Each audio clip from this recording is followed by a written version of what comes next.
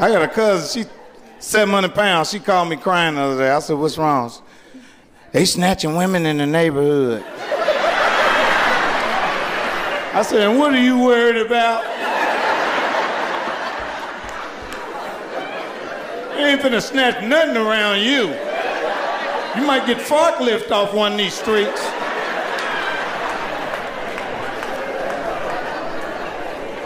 Anyway, she been running down the street where the women been getting jo- snatched. She jogging down the street, looking in car, trying to get snatched. She looking in the car. She running through the park. She waving at cars. Cause you know how them big girls, they run real slow.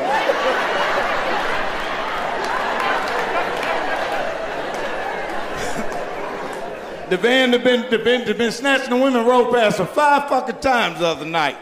I told her, what does that tell you? They didn't see me. I said, I don't know fuck did they not see. They seen you. How could somebody not see a, a, a circle on the corner? A big Cheerio standing there on the corner and then nobody see you. Anyway, she got snatched. They end up. I think they snatched her last Thursday or something like that. Yeah, they snatched her. I talked to the detective.